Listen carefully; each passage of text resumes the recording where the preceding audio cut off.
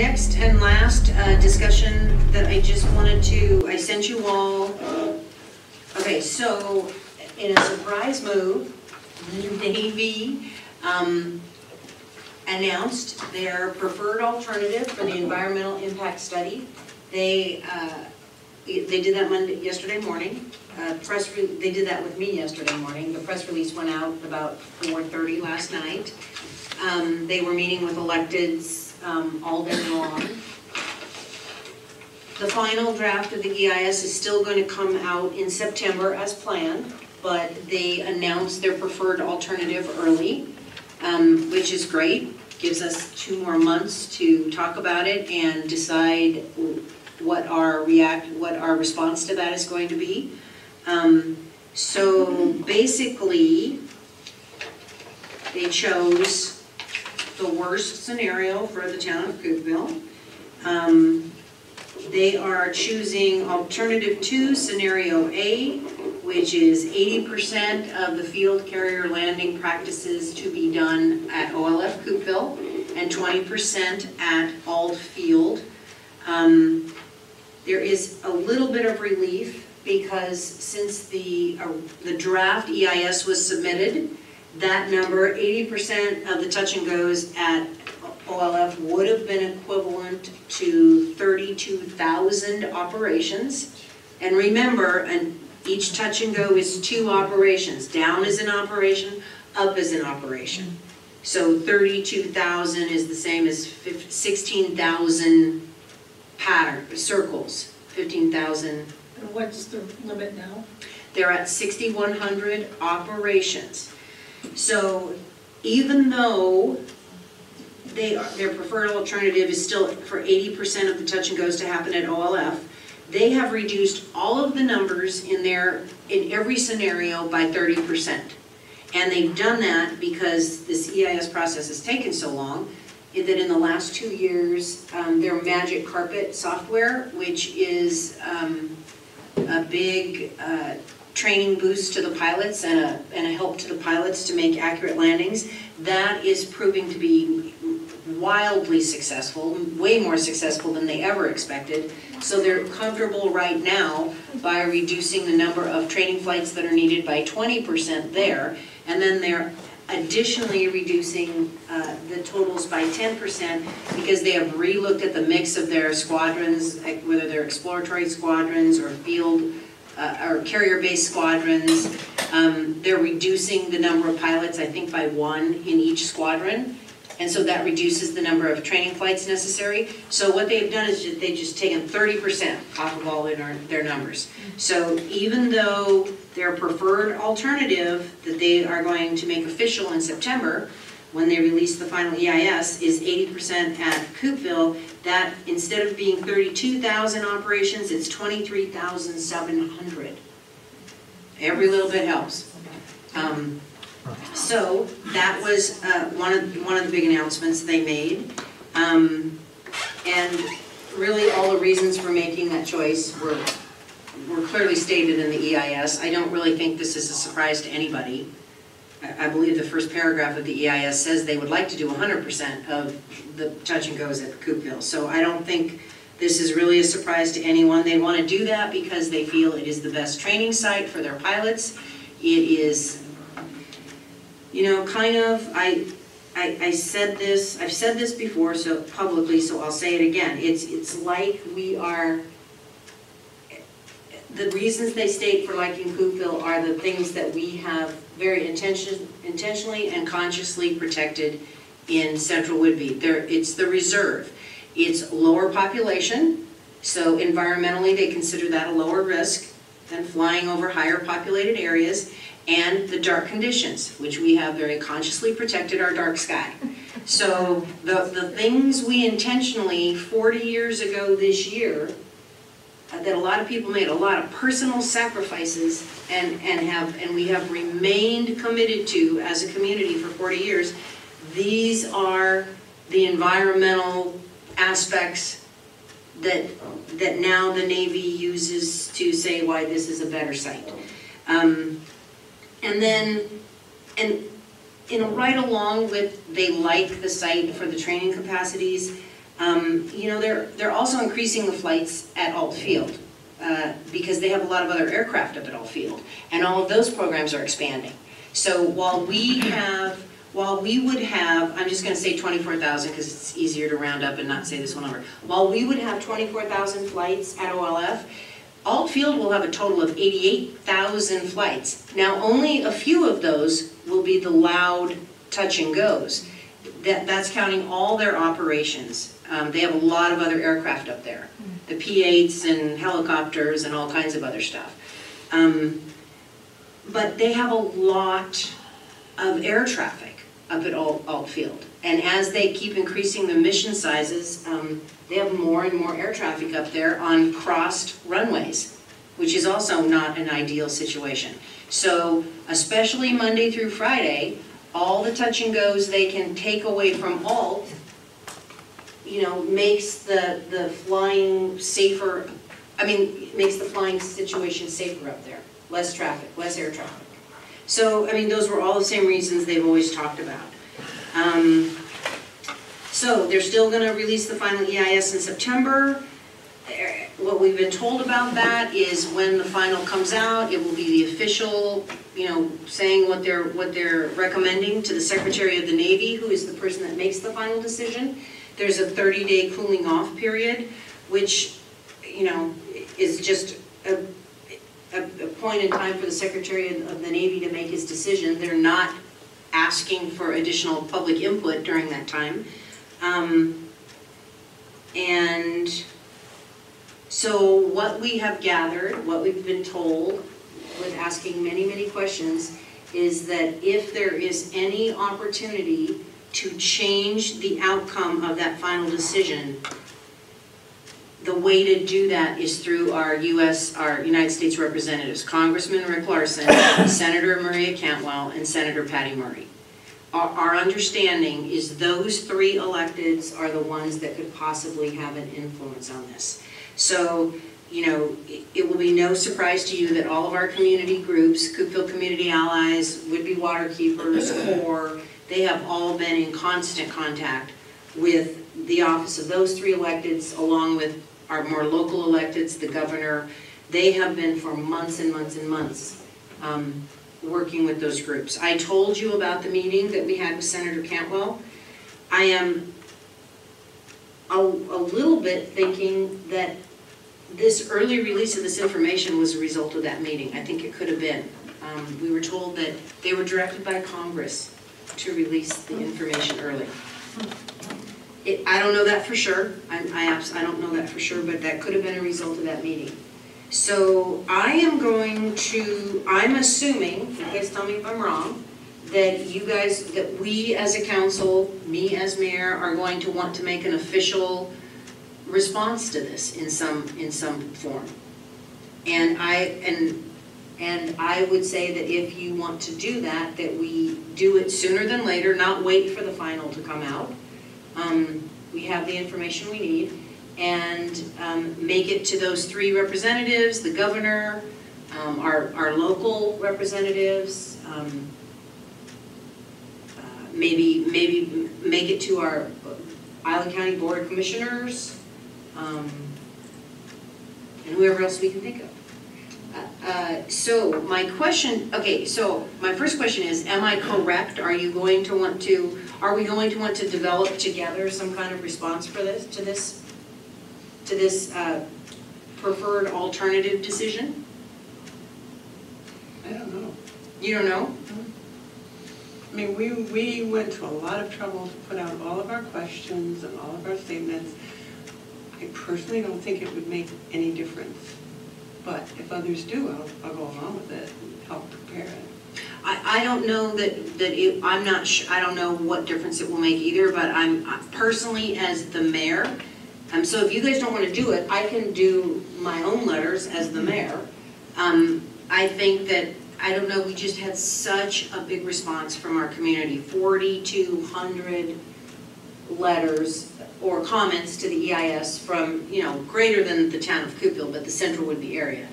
Um, I don't know, I just feel like this, uh, record of this decision requires a response of some, in some way. You know, I think there's a probability that a response won't make a difference. But there's a hundred percent probability that no response won't make a difference. There you go. And so I think a response has a better chance than no response. And plus, we're on record reiterating what we said before. Mm-hmm. Mm-hmm. Yeah, I, I mean, I think we should. I need, I have not read this yet, because we just got it, you know, yeah, late yesterday from you, and I had been time today, so I'm not ready to do anything tonight, that's Oh, no, sure. I don't wanna take action Okay. tonight. Okay. I I was gonna ask you if, I mean, I'm willing to start working on a letter for us all, or, or I can do, start working on a letter from me. Um, And, and then maybe put it just on the agenda as a discussion item again next time, because I don't know, what I would probably do, Catherine, is pull some of the, the points we made in our original letter. I think, um,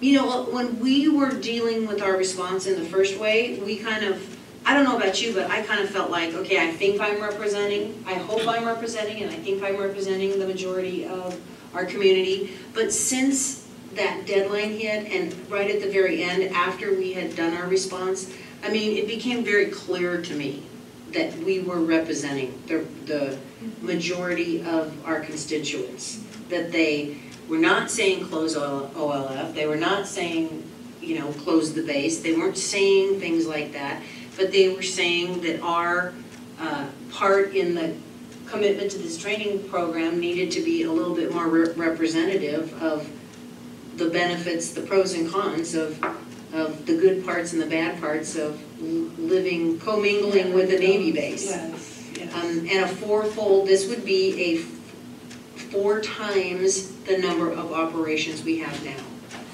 with much louder aircraft than we've ever had operating on our little airfield.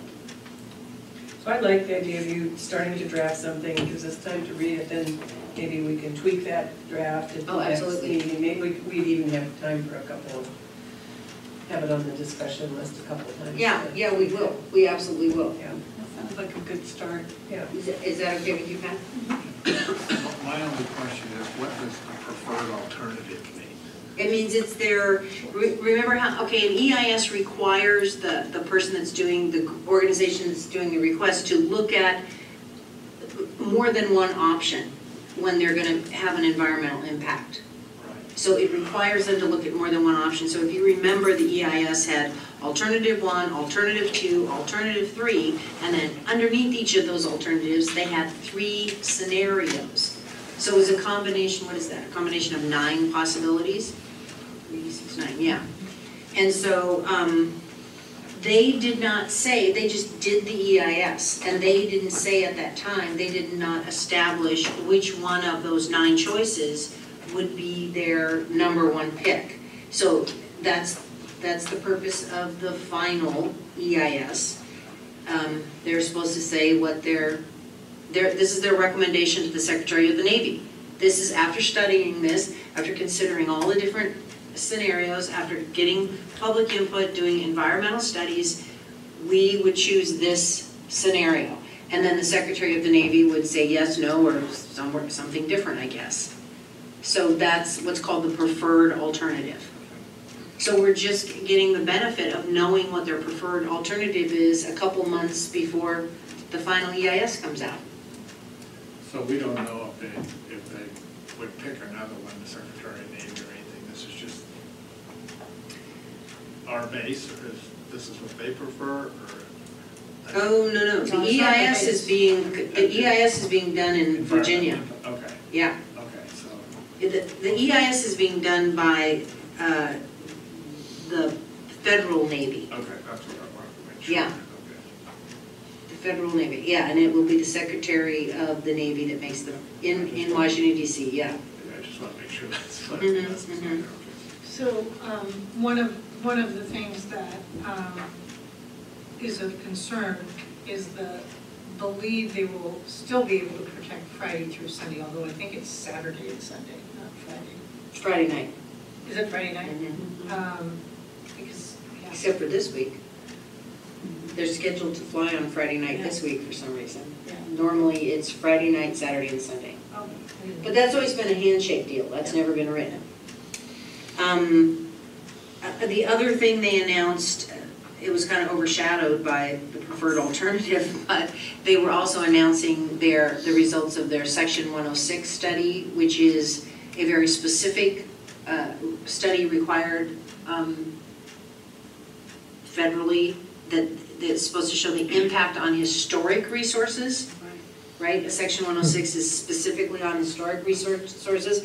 It's pretty broad when it's applied in Ebey's reserve because it's not just on buildings, but it's on we, since our cultural landscape is so well-defined and well-protected in the reserve, um, it's, it's a kind of a bigger deal in the reserve when they do a 106. But they said they found no direct adverse effects they found an indirect adverse effect to contributing landscapes and Ebey's. Now, this 106 is definitely open for uh, community, community input. That's the point that we're in. Honestly, have not, it's a 284-page document that I got by computer, but in the same email, I was told I'm going to get it in the mail, so I'm waiting to get it in the mail and not print it off at work. So I haven't even read the document yet. I just have this, they summarized the findings, so I was just passing that on to you. Um, Finding an, an adverse effect, whether it's direct or indirect, in a section 106 means that the person that's causing that effect has to, has to provide some kind of mitigation. And the mitigation is the part that is supposed to be open for, um, uh, what's the word? Uh, Not comment, but has to be agreed upon by the contributing parties. So in other words, the Navy just doesn't say, I'm gonna plant a tree here and call it good. They have to work a settlement with the, with the parties of record to come up with what that mitigation is going to be. And so is that the four partners? No, um, no, the, they actually have a they have a, uh, list of twenty-two parties of record. Oh. So anybody, it's not individual people can't be a party of record. Like So it's tribes, um, Island County, Town of Coupeville, Ebey's Reserve. She said this was, would become a land trust might be party of record. I'm not They've sure. got a lot of land. Yeah, um, they have twenty, they listed, they said they have twenty-two members of their party of record, and they made the comment that that is an unusually large number of, groups.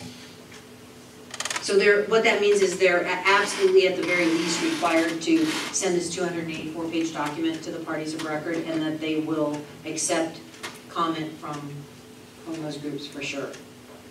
So I really can't say anything about this yet because I haven't, like I said, read the document yet, haven't had a chance to read the document, but I'm assuming we're going to want to make an official comment on that also. Yeah, the other thing that I would be concerned about is that where they're saying that they're only recommending one APZ, and that's on the west side, so I, my, my take is that's over Admiral Cove, and so if they switched all their flights going over the east side, that would be all over Coupeville.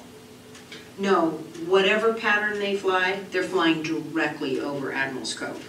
Well, Doesn't matter what pattern they do. okay, so, Admiral's Cove is at the very end of the runway. so that's, okay. It- The wet, it's the circle, it's whether they're going over Penn Cove water or whether they're going over Central Whidbey. Right. This was, um, I, we don't, I, You haven't read it. Yeah. What- what well, it's the not that I haven't read it, the APZ, now this is, the APZ is back to the EIS. Um, that's the treasurer's office. The thing about this is, they can say right now what they think they're gonna recommend for an accident potential zone, but first they make their final decision on the EIS. After that final decision is made, after they know what the number of flights are gonna be, then they do another, what's called an AICUZ study. Do you remember what AICUZ stands for? Uh, It's, it's a very long acronym. It's an, it's an environmental study. It's another environmental study that doesn't just have to do with historical resources, it's a complete environmental study. So they do this AQ study, and based on that, the, the Navy will recommend to the local um, municipal authorities, so in this case Coupeville and Island County, what they are recommending for an accident potential zone. So uns- until they have a number of flights finalized, and, un- and until they do that environmental study, they, they can't really tell us what they're gonna recommend. And, and they're not held to anything that they tell us right now. Eh, you know, I was kind of surprised to see this, this diagram that only had one pattern listed, because everything I've seen up before this had two, had both patterns listed as an, as would, that they would become an accident potential zone. They both, every map I've seen, conveniently, the town, the actual town limits don't fall within the APZ's zone. The, the circles, the ovals don't touch the town of Coupeville. But you gotta remember, between the base and Coupeville, to get to that runway, they are flying directly over our town. So we are in a, especially if they're increasing the number of flights to, from three thousand to twelve thousand a year, um, that's a lot more traffic going over the town. So I just wanted you to, uh, you know, the, the press release went out. Um, I haven't even looked at our local paper online. I'm sure it will be a front page story tomorrow. Um, so I just want to make sure that you guys knew what was going on, what the latest was. Okay? When we're all done with the Navy, last time you saw it, we might have the memorandum of understanding. Yes. I And, didn't think of that. Now I'm shooting for July 10th. okay, We are working on it. It has gone, I, it went back to the Navy today for the, they sent it to me, we sent it back, they sent it to me, I sent it back again today. So, um, it's, it's being worked on, worked over by attorneys. I thought maybe you were being distracted by this and they were. No, They haven't put anything off, they just, no, no, no, no, everything's no. happening simultaneously. No, and you guys are just gonna laugh. It's a very simple five-page agreement. It's not like some giant thing for how long it's taking. But yes, I, I really hope, that is our goal, that's our date. I was just thinking when you were talking about everything they have to go through before they get this final plan, you know, this is nothing compared to that. Everything, Mhm. everything takes so much more time. So It does. I have a question, I read an article in Seattle Times about uh, the PFAS? PFAX and that one of the federal agencies, it- it has lowered the limit. Did you read that?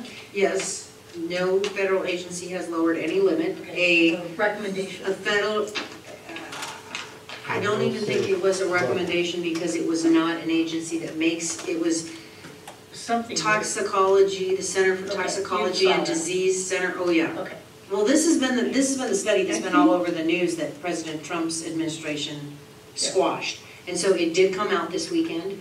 Um, It's, you know, the thing, it's turned into a way bigger thing because that, because it was apparently hidden for a while. It's one of many, many studies about PFAS. It has no regulatory. Oh, absolutely not. And I don't even know that, it's, it might be, a it, it's their opinion, it's this agency's Okay. opinion that the advisory levels are too high. That's a lot of people's opinions. And there's a lot of stuff going on specifically in the state of Washington right now with our state EPA, our state Board of Health, Yeah. our state Department of Ecology. They're all looking at this. There's a couple big, uh, highly respected community groups that are making recommendations. I have no doubt that, that changes will be made to our state regulations. Um, I know that one of those highly respected groups has made a recommendation at a state level that, um, that instead of only looking at an advisory level for two of the compounds, that they increase it to four of the compounds. And there's dozens of these compounds that fall under this PFAS family, but most of them haven't had enough research yet to be able to make recommendations about them. Um, So there's a recommendation to add two more compounds, there's recommendations to lower the limit from 70 parts per trillion. There's also recommendations to make it regulatory and not advisory. Um, It's getting a lot of attention at a state level, it's become a very high priority for our State Board of Health, and they would be the ones, the State Board of Health will be the organization that takes these recommendations and changes the policy, if, if they're gonna change it. That's who will do it. And that's who's working on it now. I fully expect there to be some kind of changes in the next year or two. The filter that the Navy is working on will filter down below recommendations, recommended changes, correct? Or do we know? Oh, we don't know what those recommended, we can't, I can't answer that question because we don't know what the recommended changes are. But we, do we know how much it will filter out? Oh, yeah, it will base, it will filter the R two compounds down to non-detect. Okay. Um, and since this has been, this is not new news, this has been being talked about since PFAS has become a state issue and a national issue. What you won't see in this MOU, because this MOU is not that detailed, but will, what you will see very shortly in the thirty percent design is from the very beginning, the Navy is designing their filter system to be added onto. In both hmm. room, electrical capacity, generator capacity, room in the building, because they are very well, they are building us a bigger than we need filter system right now. They're building a filter system for us that will treat more water than we physically have the capacity to produce right now, okay? That's good. But they're, in addition to that, leaving room in this plumbing and electrical scheme and the building if they have to add additional treatment. Because it, it might be additional treatment because in the future we need more capacity, but it also might be different treatment if the regulations change and if the compounds change. They are being, in my opinion, very proactive about wanting to take care of Coupeville, no matter what happens to our state regulations. Okay. Any other questions? Are- we done? Yeah, you're done. We're adjourned.